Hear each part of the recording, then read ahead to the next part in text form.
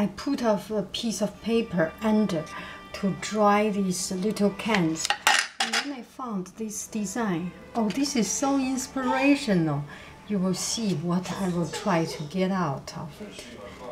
Oh, I will have a lot of fun with it. Wonderful.